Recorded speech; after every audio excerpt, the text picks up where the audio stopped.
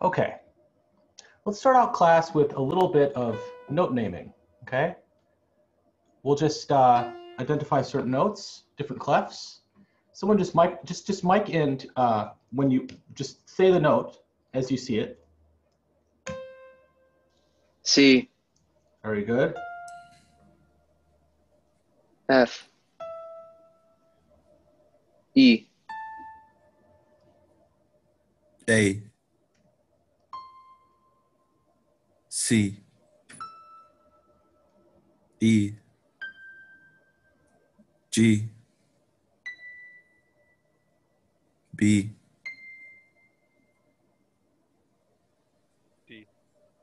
C, right? So these ledger lines might be intimidating if you have to, if you remove all the context, that's much harder, isn't it? Like if I remove all the context, all of a sudden you're left having to do every good boy does fine. A, C, E, G, B, C, right? But if you're given prior context, you just keep continuing off the intervallic, uh, you, you keep continuing where you left off. Um, so that's that's an advantage of this kind of system. So if I if I kept going along this direction, remember remember this idea of alphabet soups where I where I start with this note right here and then I keep going in thirds. Right? This should theoretically be kind of simple to figure out. Let's see if we can do it. C,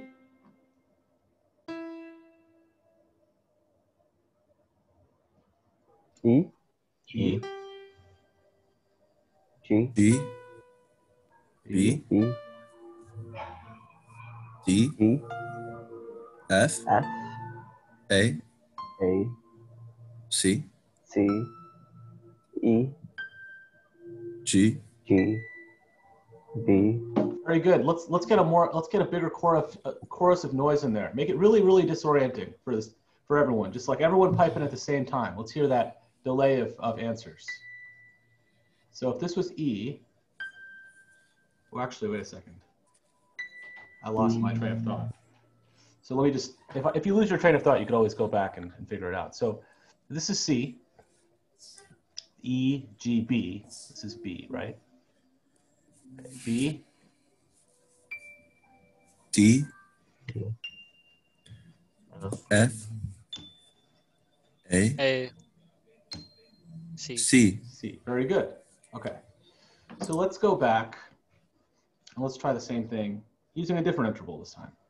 Thirds are relatively easy from the standpoint that you can trace them pretty simply from the standpoint that you can see that they're it's it's going from one line note to another line note to another line note and you can kind of tell that they're just one skip away. Um, other intervals are also not that tricky to identify. Um, along these lines, um, or spaces, I should say. Um, meaning, like if you see a, a dis, if you see basically a line note to a line note, but you're skipping one space in between, or you're skipping one, um, I, should say ledger line, or um, there should be a name for this, uh, because it, if you're in this situation, either this situation or this situation,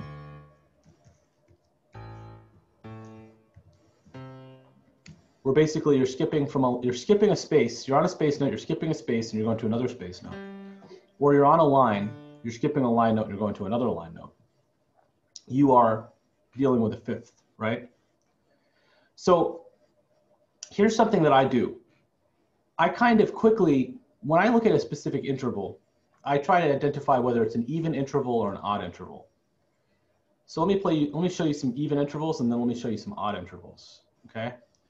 So what I'll do is I'll show you even intervals on line notes first.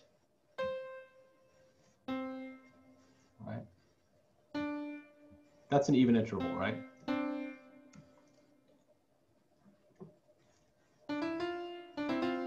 That's another even interval. That's an even interval. That's an even interval, right? These are basically even intervals go from one type, like it goes from a line note to a space note, right? So line to a space. line to a space, line to a space. So this even interval would be what interval? A second. Okay. How about this interval? Fourth. Okay. Sixth. Okay, very good. This for eighth. Exactly, octave. This is kind of a way to get both of them in. So, yes, so even intervals. So my, when my brain is processing intervals, I'm kind of, by process of elimination, I'm sort of first identifying whether it's an even interval or an odd interval, right? So first I'm like, okay, if I see a random interval like this, I'm like, hmm, is that an even interval or an odd interval?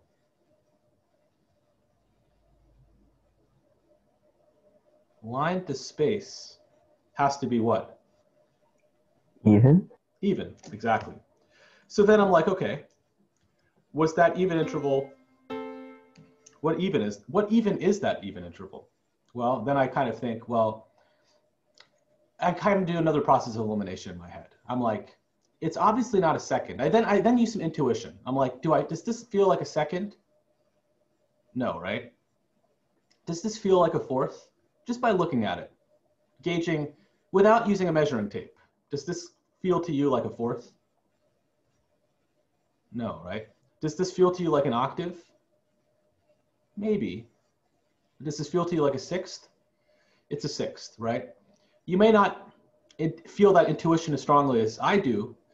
Um, you'll cultivate that intuition stronger and stronger. Some people have, have this intuition far better than I do, but it's it's sort of a growing intuition that you develop.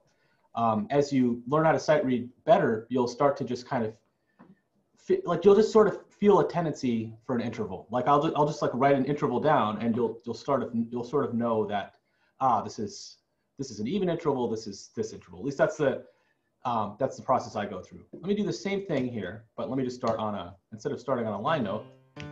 Sorry, yeah, I'll start on a space note.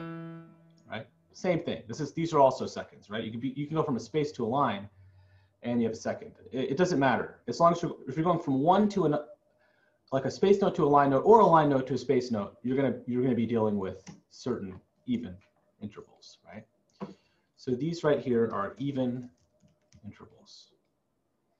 So before this, you might even you might have been thinking, what even are even intervals? Well, now you know, right? So now let's uh, let's go on to some odd intervals. Okay.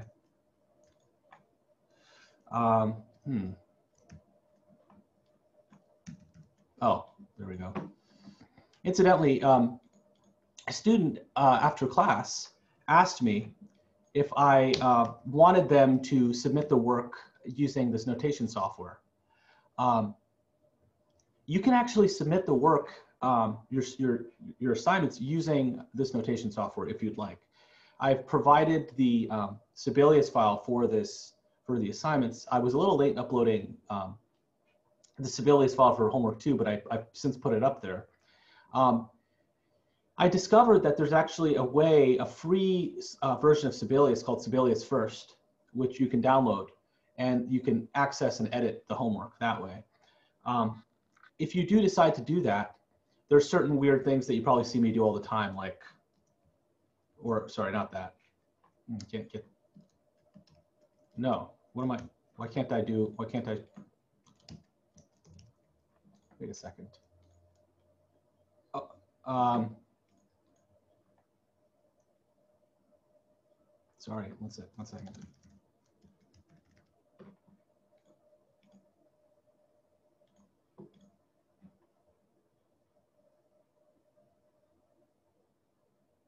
Right. There are certain things like system breaks. I don't know why this shortcut isn't working right now. Where you kind of format um, ideas on different stabs. You, if you go to the layout section, you can kind of format things to be on certain pages or on certain systems. You might find that the homework looks really like you might type stuff up, but then things go to different pages. You can kind of format things by using these um, using these particular tools up here. Like if you select these two bars and you click make into system, it'll make it into a system. Um, oh, okay, no wonder. I was using the wrong shortcut. Okay, it's early still. Sorry, guys. So anyway, um, just something to keep in mind. You are you are allowed. I, I did look at some of your homework, and it looks really nice. But if you do want to type stuff up, you're you're welcome to do that as well. Um, so that's basically what I'm doing. It's kind of the bane of my existence. You probably noticed formatting stuff. But anyway, so these are the even intervals. Let's just make a quick modification, and let's turn all these even intervals into odd intervals. Okay, I'm gonna actually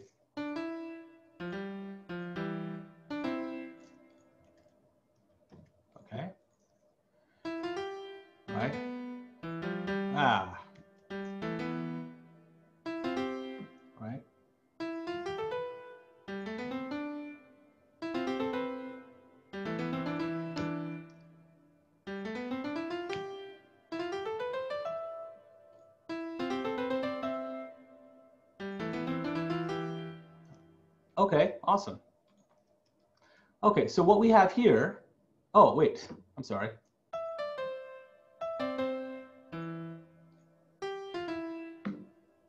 That was also an odd interval, but that was an odd interval uh, compared to the other odd intervals we were discussing in, in terms of the fact that that was beyond the scope of an octave. So that was an especially odd interval, if I may say so myself. Um, so let's take a look at these odd intervals right here. Now, what might confuse you a little bit is the fact that, you know, in my head, when I see a line to a line, I think, ah, oh, that's nice. That's easier for me to process. So even though it's called odd, there's some kind of regularity about it. So just semantically, it might be confusing to think of this as an odd interval. But remember, we're counting the, the distance between these steps. So that's why it's a first, second, and third, right? So this interval right here is what? A third, right? What interval is this? Fifth. Fifth. Seven. Seventh. Oh, oops. Seventh. And how about this one? Oh, wait, oh, wait a second. Oh, okay. What, what am I doing? I wanted another interval. That's what was going on. Okay, so they're actually these odd intervals, right? So now we're left with basically these intervals within an octave. Okay, so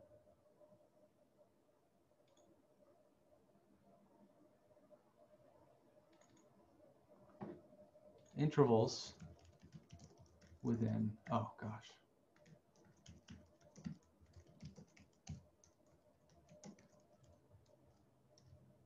Okay. So for instance, if I give you another, if I give you another uh, interval right here,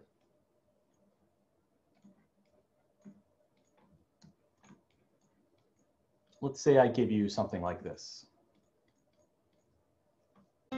I'm just gonna think of some random intervals, okay?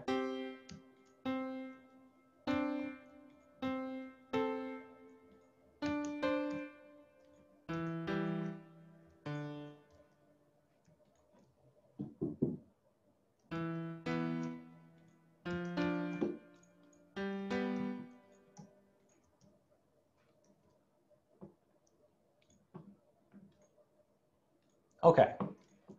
Is this interval even or odd? Odd. Okay. Is it a third? It's a fifth. It's a fifth. Very good. Even or odd? Odd, I think. This one is actually even from the standpoint that it's it's a second, right? Right.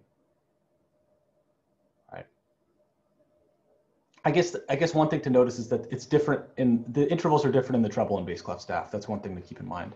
So this this interval right here is actually odd, right?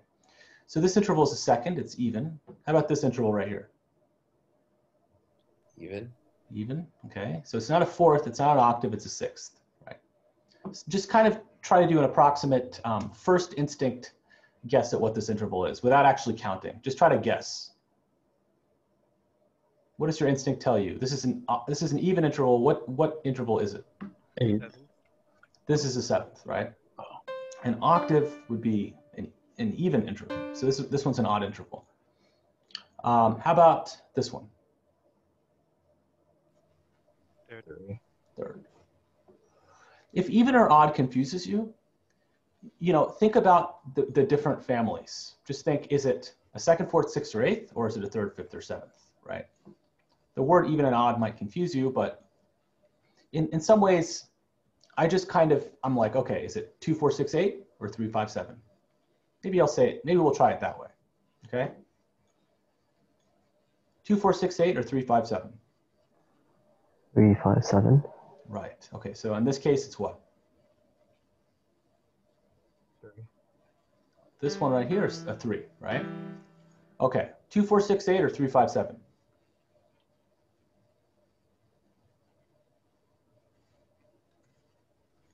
Three, five, seven. Three, five, seven, and then you think fifth, right? Two, four, six, eight, or three, five, seven? Two, four, five, six, seven. Two, four, six, eight, right? I think two Zoom people interacted and merged, say, creating two, four, seven, which is an interesting idea. Um, so this, this ends up being a two, four, six, eight, and so this is this is a sixth, right? Yeah, and to be honest, I don't even think about the words odd and even. I just literally think is it two, four, six, eight, or three, five, seven? Because the words odd and even kind of confuse me. Because in some ways this looks more regular than this, but the wordage says that this is odd because just because it's an odd number, and we always think of odd as being strange. But so anyway, two, four, six, eight, or three, five, seven.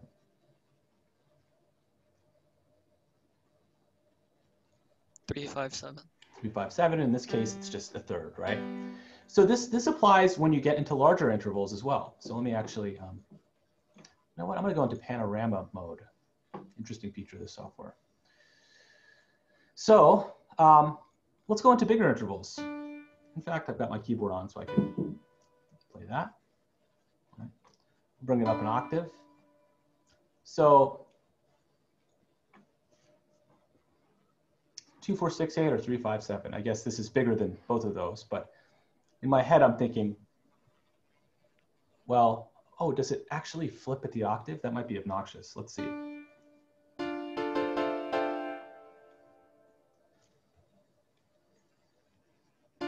Fifth, seventh, ninth, ninth, second. Yeah, yeah. Actually, let's not let's not do intervals above the octave for now. Um, so anyway, this is just a, a thing I think about with intervals all the time. I kind of I siphon them down in my mind um, to try to get the instinct going, right? Get this intuitive process cultivated. There's another thing I want to tell you about notation as well, and that is um, I don't know if you're familiar with this idea of the symmetry of C's, but um, here's another thing that can kind of help you get oriented when you're looking at the staff. It's this idea that there's this kind of symmetrical relationship of C's on the grand staff, right? So you have the middle C being the same in the treble clef as it is in, in the bass clef, right? Then you have low C being here and high C being here. And then you have very high C here and very low C here. Some people, some books I've seen call this treble C, and some people call this high C, right? That's how I used to call it. And then singers, actually, when, when you're a singer, oftentimes you'll describe this as a high C because people can't, you know, unless you're really, really, you're soprano or you're singing in falsetto, you can't sing this. So most of the time, actually, people describe this as a high C. And they describe this as very high C. Or, but either way, if you recognize the symmetry, there's this idea that this C, one staff, sorry, one space from the top, mirrors this C in the bass clef, which is one space from the bottom.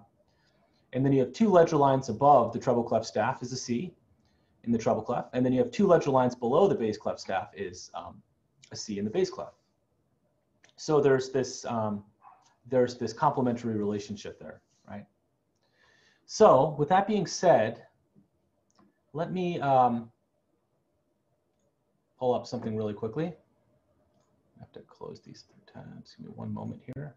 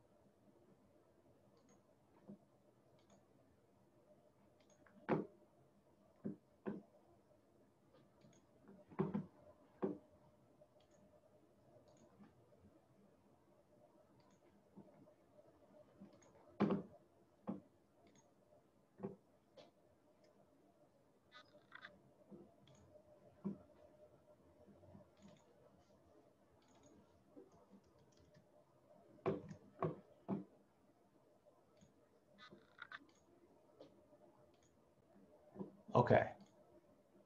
So let's take a look at this exercise, these exercises right here. This is the eyes and ears book.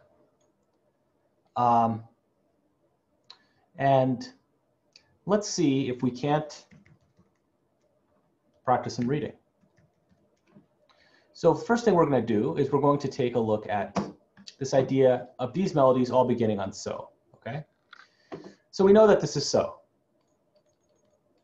Oh my gosh. Okay, we know that this is so. So what? Okay, so it's it's so. Let me lower the font size a little bit so, so that you can read it. So, right? So what key are we in? What, what key are we dealing with right here? What is the major key that is associated with this key signature? What is, okay, let's starting on C. If you have no sharps and flats, you're in the, the major key of C major. If you have one flat or sharp, what um, key are we dealing with? F. F major. If we have two flats or sharps, what key are we dealing with? B flat. flat. B flat, right? So B flat is the is the answer. So B flat major is um, the major key. Now, what just just to kind of um, if we were in minor, because we don't know we are, we don't know if we aren't yet. Um, I have an idea for what it is, but what would the minor key be if this were in minor? What is a minor third?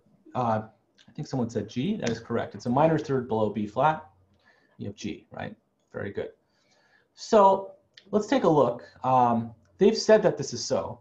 Okay, so F, if F is so, what is the alphabetic pitch associated with do? If F is so, E would be, gosh, how do I do this? Fa. D would be me. C would be re. So what I'm getting at is if F, if F, if we're counting backwards from F, let's say this is F, E, D, C, B. Okay, alphabetic, these are the alphabetic pitch names. If, if so is F, E would be Fa, D would be me, C would be ray, and then B would be Do. These aren't, this isn't actually, actually correct from the standpoint that we aren't accounting for flats. This could be B flat, this could be, you know what I mean? But alphabetically speaking, we know that um, these letters, remember, if we're spelling things correctly, each of these solfege syllables correspond to a certain letter, an alphabetic pitch as well, if in, in whatever key that we're dealing with. So this, this B, we quickly realize that B is do. It's not really B, it's B flat that's do, right? It's not G. So we know that that's one indicator that we're in B flat major, right? The fact that F is so. The other indicator, what's another indicator that we're in B flat major? I'm gonna, I'm gonna hover towards it. Any idea why we're in B flat major? The end ends with um, B. It just has like um, leading tone into B. There you go. Yeah, leading tone. There's absolutely that. That's a good point as well. There's a leading tone leading into the B flat that's at the very last note of the piece. So this kind of gives you this idea that we're actually stabilizing in, in B flat. There's kind of a happy ending. We're like, oh yeah, we we finish uh, we finish the song in this key, and um, there's some finality to it, right? Okay, so let's uh, let's figure out some of these syllables. So this is so. What is this? So. Again. So anyone? La. Right? You know what? Okay, la. Now what? T. T, Do. Do. re, do. Wouldn't it be do again? Oh yeah, you're right. I was trying to. Um, I thought this was climbing up. Correct. Absolutely. Thank you for catching that. Do, ti, la, ti, la, so, fa, so, fa. Wait a second. What's going on?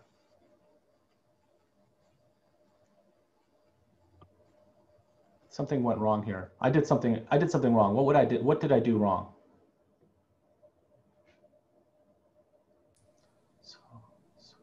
Is it uh, because uh, you, it's far too far at the very end? The very end? Oh, it's the same note.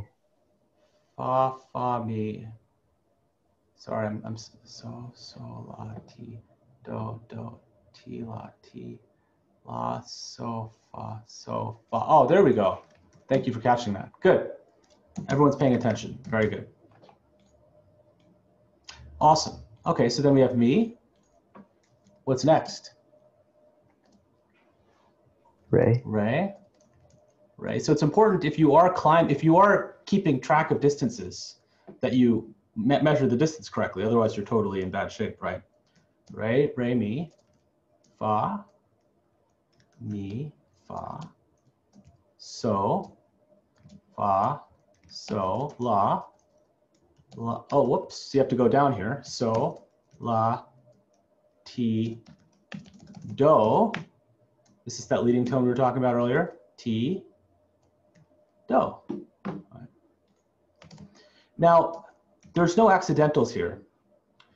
If we're using movable do and we don't see any accidentals, we're not going to deal with any chromatic solfege. We don't have to worry about that. These are all vanilla solfege, right? Okay, so let me switch my audio input really quickly to my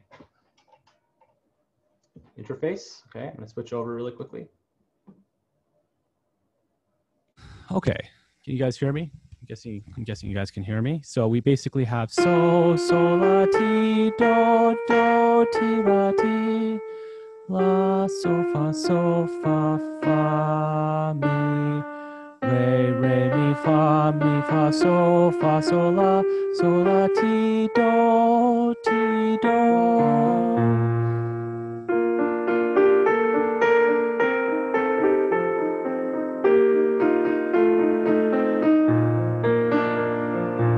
right?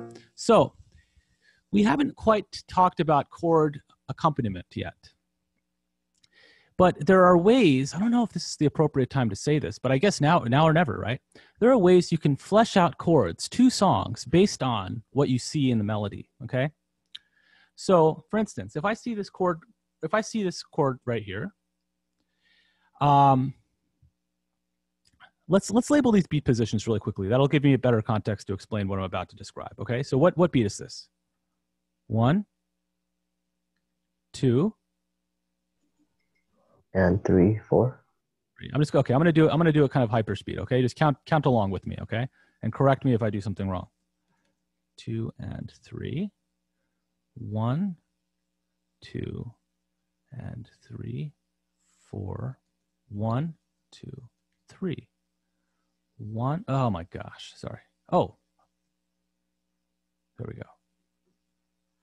Okay, one, two, and uh, uh, gosh, two and three, four, and one, two, and three, four, and one, two, three, four, one. Okay. So now I want you to take a look at this. And I want you to think about something. I want you to think about. There's no highlighter here. That's too bad. Um, oh no, there's there's one right here. Okay, great. I want you to look at the notes on the downbeats. Okay. Oh wow, that's cool. Oh, that's awesome. Okay, so in okay, this is this is what I'm about to tell you is this idea that um okay let's just let's just la- let's just stripe in all the odd numbered beats okay in music when you're when you're thinking about music there's often this relationship where where notes that are on odd numbered beats are complemented. They have like a complementary relationship with each other. And the notes on the even beats have a different relationship with each other. It's not going to exactly work out that way i can already tell in this case but we're going to take we're going to try this anyway okay? And i'm going to try to show you what i mean. So so far i've highlighted all of these odd numbered beats okay? Um okay. So what we have here we have so t so so la ti so t okay? If we have so T, what that, okay, for one, hmm, this isn't, this particular example isn't um, conforming to what I was hoping would happen, but it's okay. Just, we'll, we'll still make it work. So there's this idea, before I even look at the odd number and even numbered beats, I've striped them just so you can see them. What is a very preponderant note in this measure? What is the most preponderant? Preponderant means most common. What is the most common note in this measure? So, So, okay. Now, if I take so, and what notes, okay, what chords can fit with so? Like, for instance, if you're in so, okay, meaning what solfege, okay, let me, let me, let me back up. I've never actually quite talked about things in this terms, these terms. So if we're so, what, what is a chord that you can make with so? Well, we can have do, mi, so, which hap, okay, right? Right? So could fit into the triad being the fifth note, right? Of the triad, right? What's another triad that you can have, right? Tri- remember, triads are every single other note, right? You can skip the re, you skip the fa, right? What's another triad that could work? So, with so being in the chord. So is in this chord, right? mi, So so, T, T. right? Mi so ti. And then someone said so ti re, right? All of these configurations have us skipping a particular note in between, but we're still managing to include so in this particular chord, right? Okay. So of these three chords, these are three chords that have so in them, okay? You might be thinking, so what? Well, here's here's why this is important. Now you can kind of look at the remaining notes in this particular chord, and you can kind of figure out what chords could potentially um, could, could potentially fit. You're actually not restricted to. There's not one right or wrong answer, to be honest. This is how when jazz players reharmonize things, they reharmonize things to great extent. You know, I could I could play this chord progression so many different ways.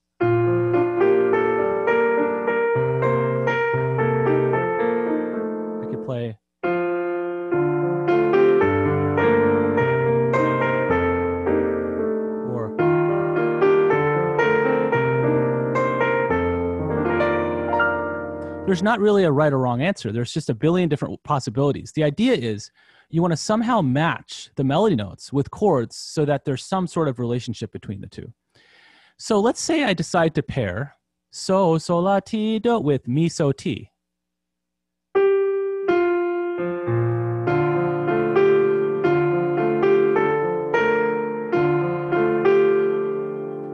so, la, ti, do. Right? That kind of works, right?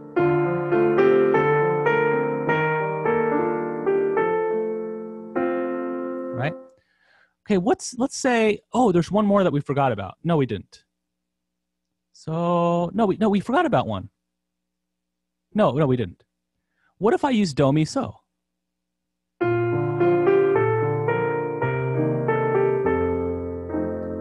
Do, mi, so, right? In the left hand, what I'm playing right now is do, mi, so. I'm basically playing do, mi, so. And in the right hand, I'm playing so, so, la, ti, do, do, mi, so. Okay? So this particular chord works very well. I'm basically building a chord on the first scale degree. Okay? Incidentally, this is a little foreshadowing, but I won't go too into this.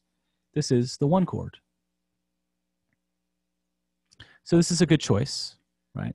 This is a good choice because this is a very stable chord, and we're in a piece. It's oftentimes good to start with a chord whose root note is the tonic of the key.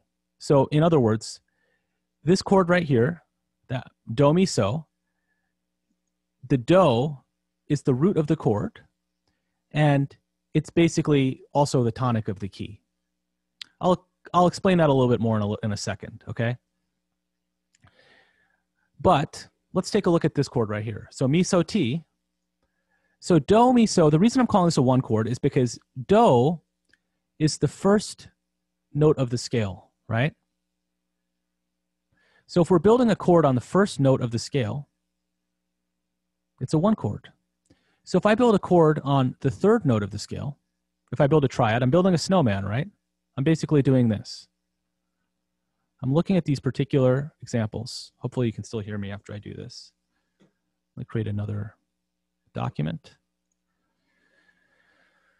Okay, so I'm in the situation where I've got this, right? And so basically this is this is the situation we're dealing with. I have this B flat major scale, right? And then I basically decided to call this do. Oh my gosh, I've got to turn off this thing feature really quickly. Give me a question. Please give me give me a second, or give me a question, either one. Keyboard Maestro. Disable macro group. Okay. So do, re, mi, fa, sol, la, ti, do. So if I build a snowman starting on do, I basically get this, which is do, mi, so, right? Or actually, I should do it properly. Do, so, mi, do, right? So this is one of the triads that we're talking about. Okay. And then I was also saying, well, we have so, right? We have so. So we could also build a triad starting on this note, which would be this one right here, right? Right? Because this also has so. Right? You're still kind of creating the snowman relationship, right? Or I should say the so man relationship. Um, you still have the snowman, right? And so right here, what's another chord that has so? Well, remember we, we, we, we've discovered this one as well. Okay. So this one right here is me, um, T, so, me? So these are the three chords that have so. And the melody itself, right? So this is this is what I'm playing. So if I play this, do mi so. Can you guys hear me playing the piano? Okay, good. Um, and then so ti. Sound like a piano sound, or if or does it sound? Can you still hear me playing the piano? Like if I if I go over, could you hear me playing the piano earlier when I was when I had the PDF open? Okay, cool. Just making sure. Um, okay, so this is do mi so. So if I build if I build the melody note basically so I'm starting on this chord right here do mi so. If I use the same melody note now I'm using mi so ti mi so ti. Now if I use the same melody note but whoops sorry that was that was wrong right.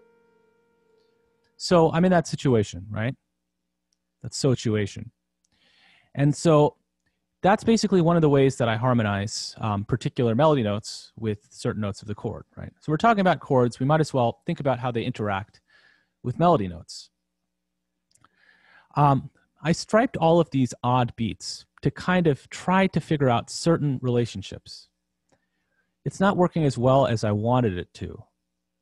Because sometimes what you see on these odd beats is our thirds. Remember? So what's interesting about thirds I guess what's interesting about thirds is that they are the basic building blocks for triads. So if you're seeing thirds in the melody, that means that there's a very good chance that you can use, there's some sort of snowman there that you can use, right?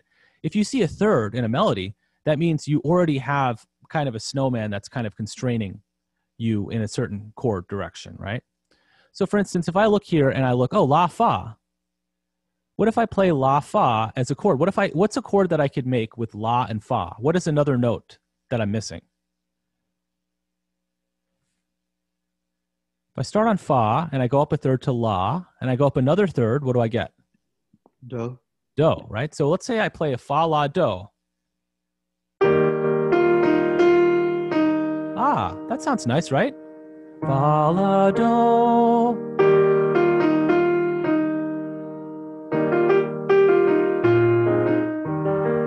right? La, so fa, so fa. What I was playing was actually, I was using, forget I played Peanuts. That, that wasn't what I should have played. Because technically I was referencing a different tonic. Anyway, so this is La, So, Fa, So, Fa, right? So we're in the situation where we saw a third and we're like, ah, I can actually combine these to make um, another thing. So I wonder if I can unhighlight. Will let me delete the highlight? I'm going to delete these highlights because they're not exactly um, they're not exactly showing what I was hoping they'd show. I have to do a little more explanation before I, before that makes sense. Basically, the goal of the highlighting was to see if we could find thirds. We could find notes that were somehow related to each other in the melody. The reason I, I selected odd numbered beats is because oftentimes when you have a note interspersed between, like if you have a fast moving passage, notice this is a great example. Let me actually, um, this is a great example. Look at this. You see Re, you skip over the Mi and you go to Fa, right? Re makes a third with a Fa, right? You're basically passing over this note, you're glossing over it. And as, as a result of glossing over it, you're able to um, create a relationship between this note and this note, and you're skipping over this note, right? So maybe what we should do instead of of basically, uh, oh no,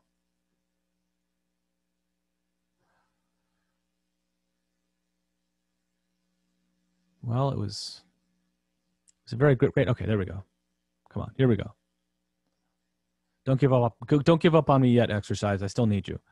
So what we he- what we have here is maybe let's just try to go through and see if we can find some thirds. So so and t make a third, right? Right. Let's use a different color and let's say we have la and do make a third, right? So we could do a fa la do chord here. We can do a so ti re chord here, right? Let's take a look at this, right? We have do and we have la. That makes a third, right? Anyone see a third in the next measure?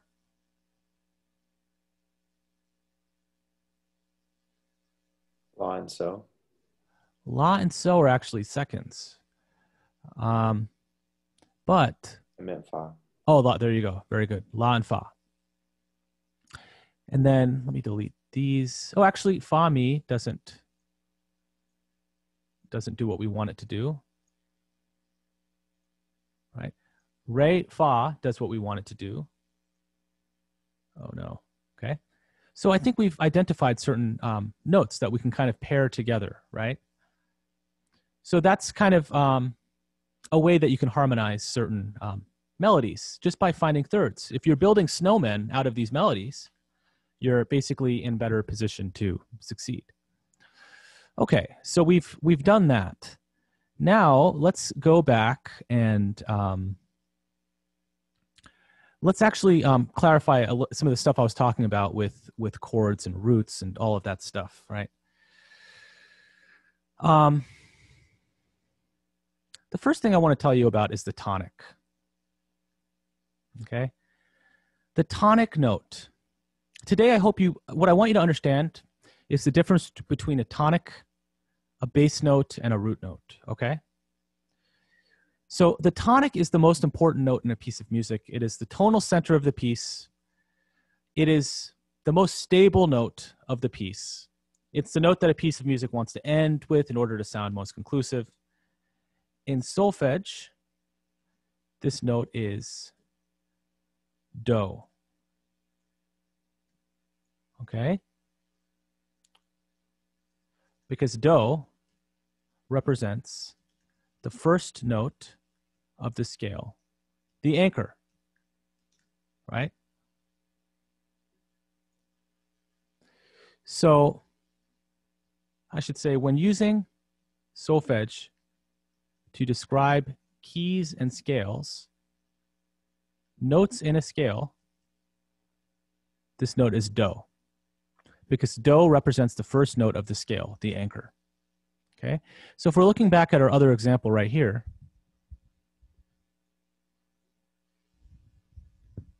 okay, we're looking at this particular example, and we have do, re, mi, fa, sol, la, ti, do. This right here is the tonic, right? It's the tonic of the scale, right? It's the anchor note. It is the note that sounds most stable. It is the note that the piece most likely ends on, which we actually did discover, right? We discovered that this exercise did in fact, did in fact, no, did in fact end on do, right? And that is a ficht. No, that's true, right? It did in fact end in do. Now, what are we uh, dealing with here? We're dealing with a scale with different solfege uh, syllables. Okay. Now, so we know what the tonic is. Okay, we know that, right? So if we're in G, if we're in the key of G major, what's the tonic?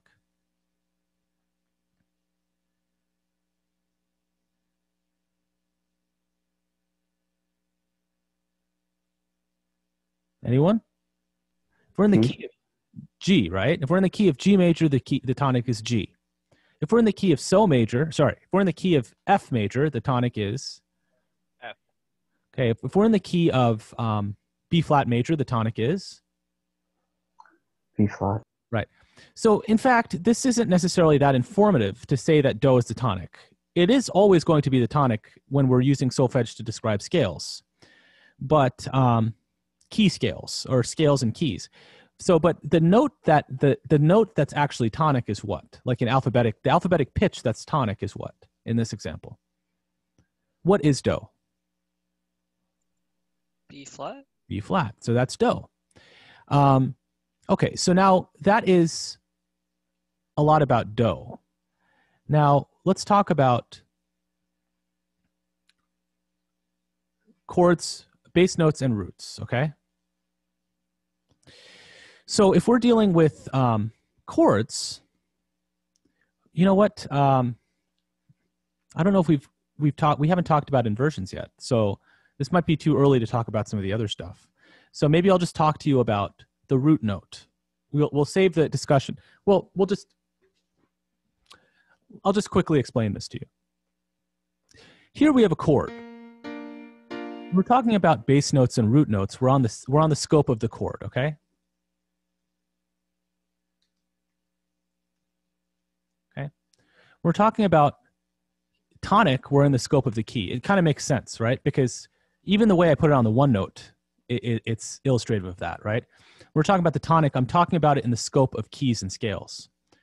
When we're talking about the bass note versus the root note, we're talking about the scope of the chord. So what I mean by that is you could build chords off any of these different scale degrees, right? It doesn't change the fact that do will always be tonic of the key, right? It'll always be the tonic of the key. B flat will always be the tonic of this um, example, right? But we could actually, as we're doing, we're starting to construct chords on these different scale degrees, right? We're building snowmen on these different scale degrees. And by doing so, there are certain other terms that start coming into fruition. So the bass note of this chord, of any chord, is the lowest note that's written. Okay? So in this case, what is the bass note that of this written chord? What is the bass note? What is the low note of this chord that's written? D. E, right? What is the lowest note of this chord, aka the bass note? F. Okay, very good. I'll leave it there because I know we haven't talked about inversions yet, but let's just um, we'll we'll come back. We'll keep talking about this as as the um, the quarter unfolds. Um, so anyway, this is a little foreshadowing to what's to come. But anyway, let's actually. Um, I just want to make sure we talked about a lot of things today so far. I hope that it's still. I hope that you still remember how to construct seventh chords. I know that assignment is due tomorrow. So maybe we'll do a couple of examples of that. Um, that's basically the new thing of the assignment. So if I have a particular chord, I'm trying to construct a major seventh chord. What intervals am I dealing with? Well, what's the, what is the underlying triad of a major seventh chord?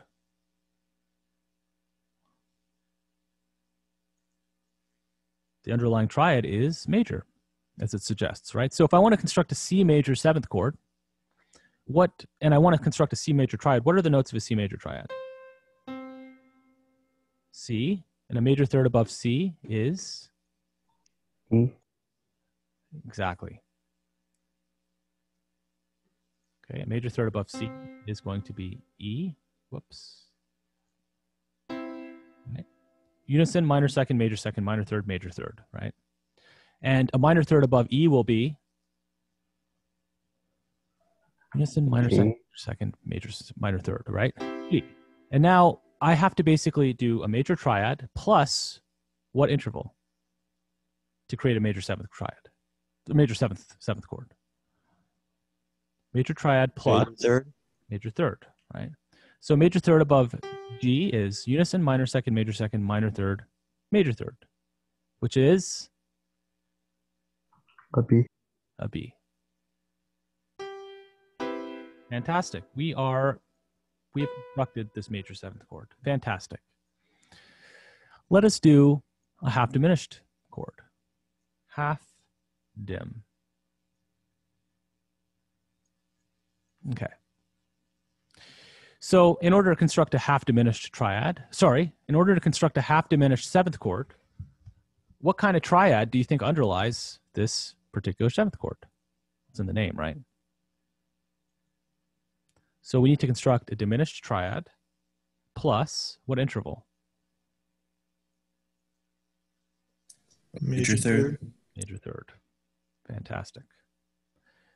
So what are we dealing with here? We have. Well, let's let's start on uh, let's start on D. Okay, so we have D.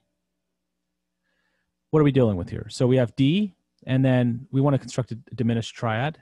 D minor second, major second, minor third. Unison, minor second, major second, minor third. Okay, this note right here, it's going to have to be spelled in terms of the pitch A. So it's going to be A flat. Right. And we need to construct a major tri major third above this. So unison, minor second, major second, minor third, major third. There we go. Half diminished. Just like that. Okay. They grow up so fast. Well, there's a formula for constructing them, right? It's not too it's not too uh, mind blowing if you just realize that they're just small intervals, right? That can, con- constituted from these smaller intervals.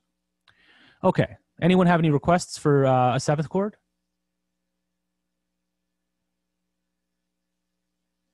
We're taking requests here. Dominant seventh. Ah, great choice. Great. Cho- one of my favorites. Okay. So we have a dominant seventh chord right here. And um, okay, what is the formula? So we've got what is the underlying triad for a dominant seventh chord? Major third. Major seven. Well, first it's a major triad, right? And then actually, what is the interval that um, goes above the major triad? Actually, Major or minor third. minor third. There you go. So we have a major triad plus a minor third. So let's actually just copy and paste this C major triad for for um, sake of simplicity. And we have a major third here. So if we want to make this a minor third, how would we do that? Flat Flatten it. Okay, along these lines, let's say I want to have a full diminished, fully diminished. Okay. Well, in order to do that, uh, I don't know why it's not letting me copy and paste, but it's okay. You basically have a diminished triad plus a minor third, right? Nothing too surprising there. Copy and paste this, right? I have to make this major third a minor third. Bam. Okay. Now we are missing one seventh chord. We've dealt we've dealt with major lying, oh, Sorry, we've dealt with major and diminished triads as the underlying triads. What triad are we missing? There's actually two, but we're only going to deal with one for now. From the ones. Augmented. Well, we that's true. We have we we didn't talk about that, but there's actually no seventh chords that we're studying at the moment that are built off the augmented. What what's another uh, species of triad that we haven't looked at yet? Minor. Minor triads. There we go. Okay, so let's actually create. Uh, let's create a funky minor triad. Um, I'm gonna create a note. By funky, I don't mean like um, Prince funky. That'd be awesome. But a triad is is you know it's it's about as funky as you can. Every triad is equally funky uh, in terms of the root note that you choose. Um, I just meant in terms of choosing a, a bass note that could potentially be difficult to work with. Okay. So unison, minor second, major second, minor third, right? So we're on this pitch. Now we've got to spell it in terms of the proper letter. What letter do we have to spell this pitch in terms of? C. A or C. C. So in that case, we're going to have flat, right? Okay, so that's that's about as tricky as we're going to get. So for for this particular exercise, but now we need a major third above this. Maybe it'll still get tricky. Unison, minor second, major second, minor third, major third. Okay, so we're on this pitch. We've got to spell it according to which letter? E. E. Okay. There we go. So we see the snowman where it's it's all good. We kind of have this idea that it's going to sound like a triad. It's going to sound actually like one of these three sounds that we've we've talked about so far: major, minor, and diminished. Now we have to construct the seventh chord, which basically, in order to create a- minor seventh, we basically need a minor triad plus what?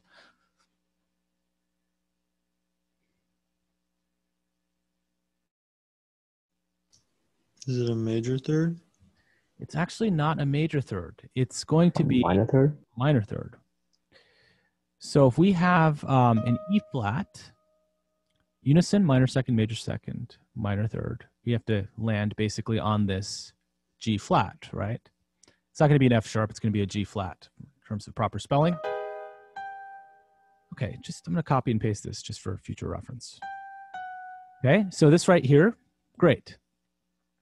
It's basically exactly what we want. Now, someone did say, well, what if we have a major third above that? Right? That was that spooky minor major seventh chord, right? Minor major seventh.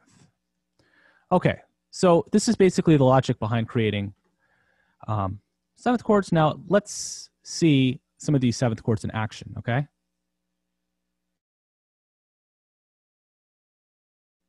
Okay. So we've got a bunch of interesting jazz songs here. And you see a bunch of symbols. You see nines and you see 11s. Ignore all the nines and 11s for now, okay? Or 13s, right? Let's just let's just evaluate some of these symbols. This is an E flat. You see this little delta sign. Now let's see if the OneNote actually has a definition for that. If I go to chords and I go to seventh chords, right? Ah, little delta. So this right here, what is this quality? What is the quality? The quality referring to is basically meaning major, dominant, minor, half diminished, diminished. What is the quality of this seventh chord? Major. Major seventh. Okay, great.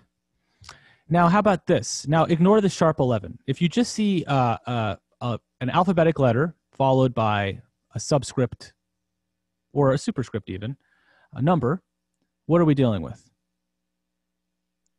Dominant? Dominant. Exactly. That is like the vanilla uh kind of seventh chord that we're so, that we're used to seeing or hearing and hearing in in most music. It's just a dominant seventh chord. How about this one? G d- hyphen seven hyphen. Minor seventh. minor seven right? It's a minus. G minus seven minor minus minor seven. Okay. So we have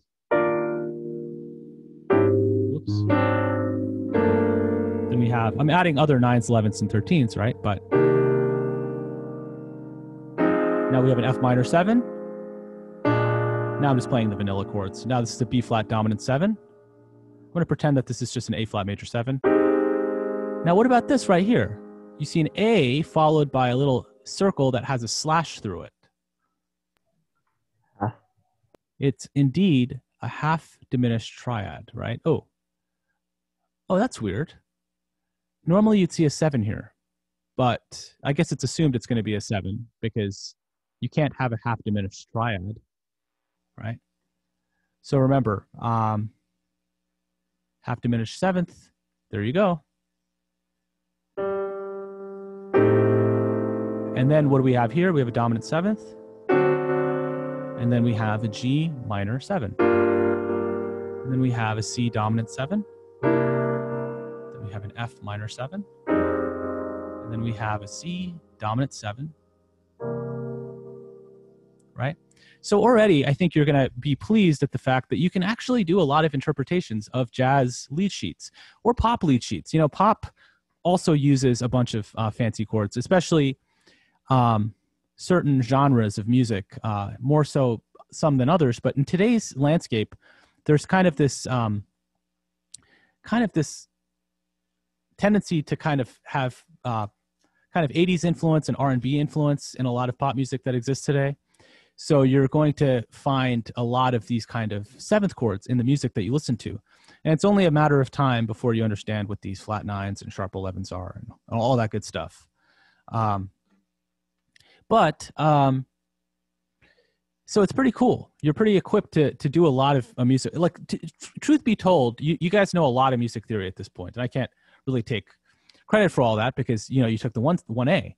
But it just goes to show that I don't want to say that things are become diminishing returns at this point. They really don't. There's still a ton to learn, but you should be proud of what you know so far. There's a lot of stuff you can do with the knowledge you have so far, um, and we'll just keep working off what we've already learned to to learn more stuff.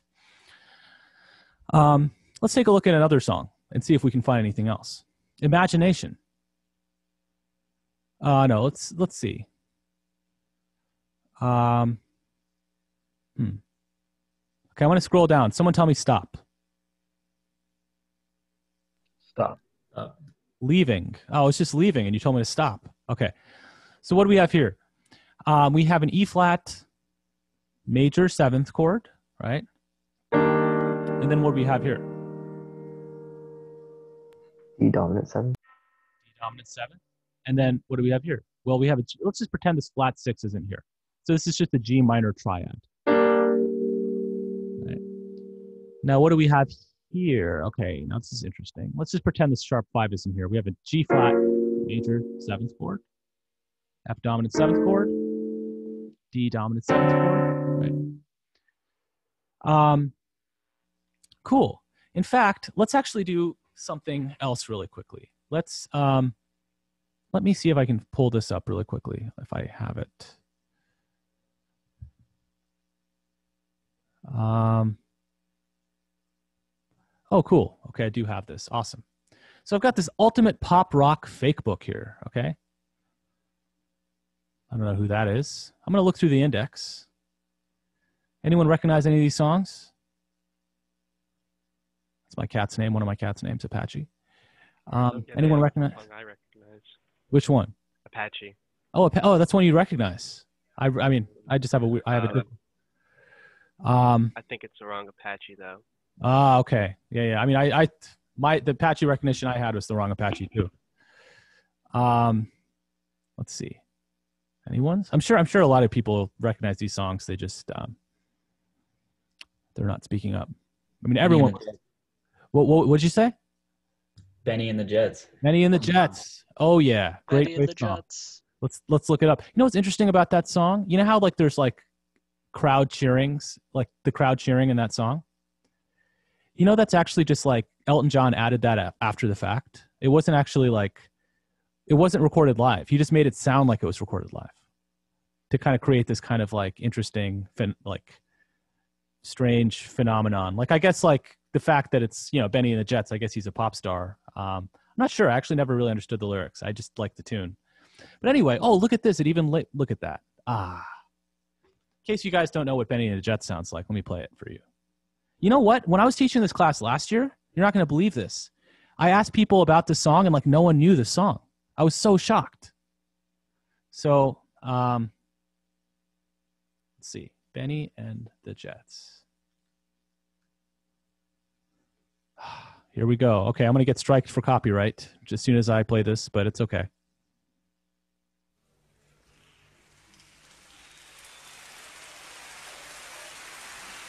Insert it after the fact.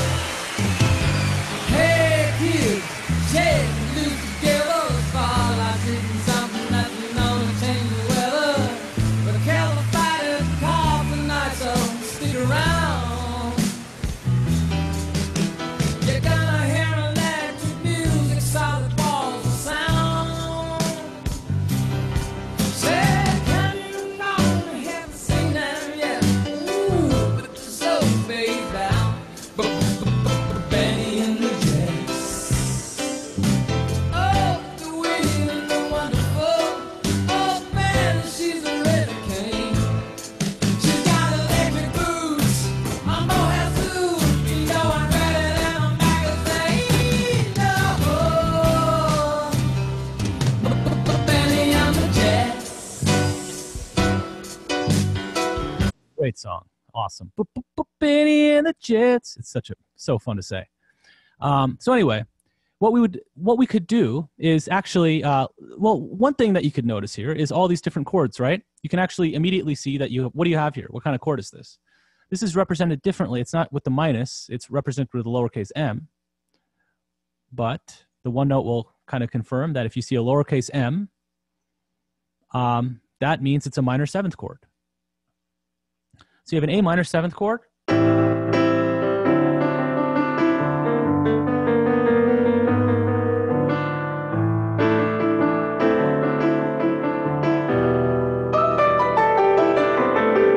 Right? So it's got this kind of soulful kind of quality in it. Um, you have this A minor seventh chord. And then what do you have here?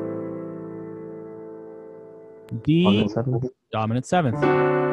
And then if you don't see any seven there and you just see a capital G, that means Major it- tri- ma- yeah, G major triad.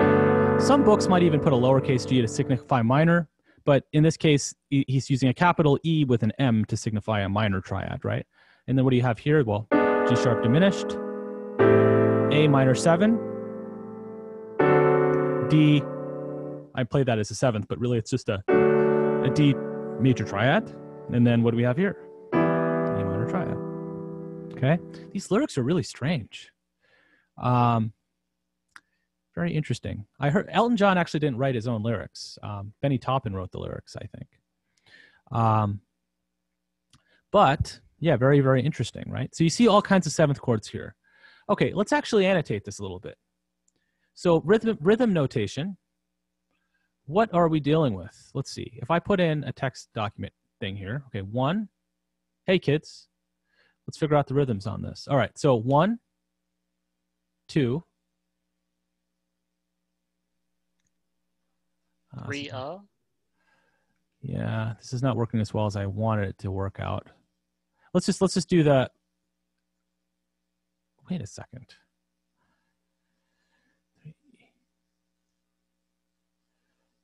It's it's subdividing smaller than sixteenth notes. So this is actually a thirty second note. So I don't have like a classic mnemonic for it, but this is like the. I guess you could you could you could actually pretend yeah you could you could say this is three and uh. Hey, kids, shake it loose together on gather the it's hitting something that's been known to change the weather. We'll kill the fatted calf tonight, so stick around. Um, my rhythm syllable notation is kind of breaking apart right here. Um, huh. What's one way we can describe this? There's so many different ways we can describe this. sometimes sometimes you switch systems halfway so i'm going to switch systems i'm going to go from counting in terms of rhythmic rhythmic beats and then i'm actually da da da da da da da da da da da da da da da da da da da da da da da um ding a ding ding a ding a ding Um, I'm just, I'm just going to skip that for a second. Then we have four E and uh, right? So right here, I I'm understanding like if I think of this particular beat as one measure, what would this be? This would be one E and uh, two E and uh, right? If I thought about this as one particular measure, if I'm kind of like forgetting the fact that this is in the context of this, I can kind of break this up into its own thing, right? One, two, one e and a, one, one to two and four and uh, one e and a two e and a four e and uh, one e and two e and uh, one e and a two e and a four e and uh, right? I'm changing the scope. I'm basically reading these one e and as two e and a twice as fast as I'm reading these because of the fact that there's a 30 second note in here. So I've, I'm, I'm changing the scale of things a little bit. Um, when you're when you're trying to process rhythms, I, I'm afraid to say this is just one of the things you're going to have to do. You're just going to have to break things up into constituent parts and then try to glue everything together. Ultimately, it's it's the syllables that don't the syllables don't really matter. It's really one of these ends justify the means scenarios where you just want to get it internalized in your body. The syllables, whatever syllable system you choose, is meant to aid you in getting you closer to understanding how the rhythm goes. So that's why I have this rhythm mnemonic thing here, right? There's no dotted rhythm here per se, right, for any of these particular things. But if I Google, for instance, dotted rhythm mnemonic. I'm sure someone's made one. Okay. Go. Let's see.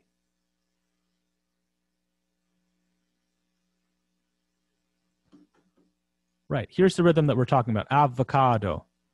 Not quite. It doesn't quite work well. Coconut. Coca, coca, coca, coca. Avocado, avocado. So you could be in a situation where you're saying this. One, two, Coca Coca for e and a one, two, avocado four e and a, right?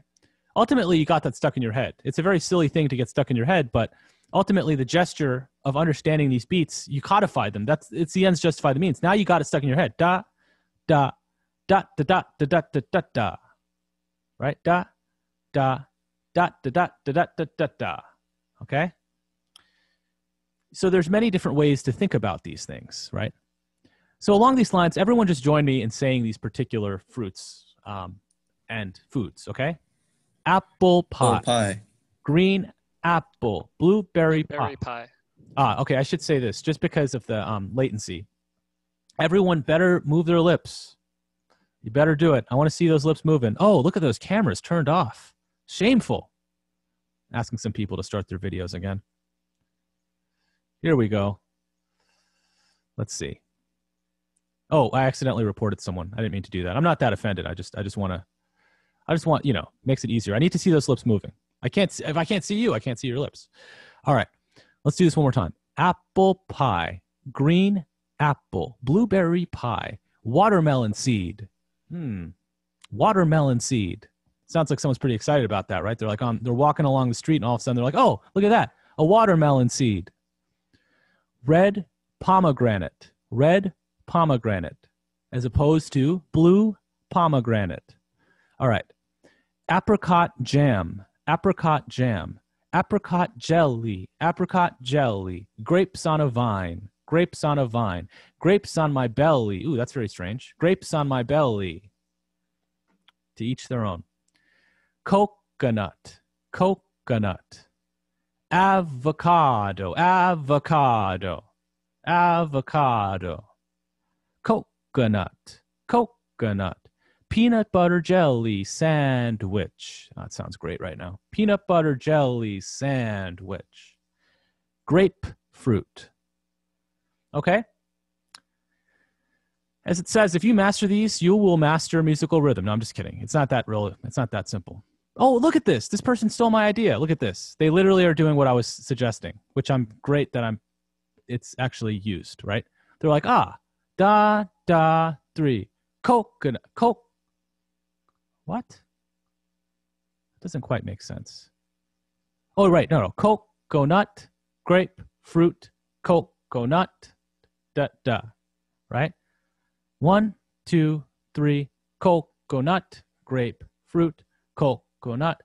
In this case, I would argue that you don't necessarily need the food mnemonics. You don't. You could use them, but you could also go one, two, three, four e and f. One, two, three, four e and f. You could, you know, teach their own. Let's try this one. Blueberry pie. Duh. A blueberry pie. Duh.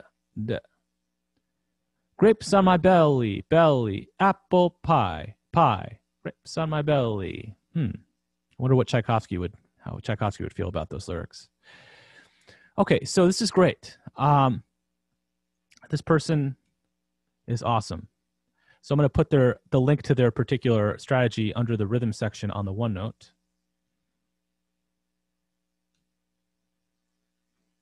Foods, more foods. Okay. If you forget, lest you forget, this is a way that you can kind of uh, associate. Ultimately, you want to get you want to get it in your body, right? The only way to get it in your body is by doing it correctly. So it doesn't matter how you get it done, as long as you do it correctly using some mnemonic, it doesn't matter. You know, you could memorize all of the all of the tax, taxonomical classifications in biology by saying kings play chess on fine green sand, right? At the end of the day, you know your your kingdom, phylum, class, order, family, genus, species, right? You know that, right? It doesn't matter that you have to use a little cheat code to get there. Ultimately, you have to you have to get there, right? You have to internalize it. So anyway, um, I think that's good for today. On Thursday, we're going to talk about new material, and uh, if anyone has any questions, I'll stick around. Um, and uh, yeah, so thanks a lot. Thank you. Have a good day. Yeah, you too. Thank you. Thank you. Thank you. Thank you. Uh, I was just kind of curious uh, if we had access to that book. Oh, oh, the the the lead sheet book. Yes. Yes, I think I actually put it up there. Actually, that's. I'm glad you brought that up. If you go to the piano, if you go to resources and you go to piano, link to pop rock fake book. Oh, okay. Yeah, I'm. I'm glad. I was going to bring that up and I forgot to. So I'm glad you mentioned that. All right. Thank you. Of course.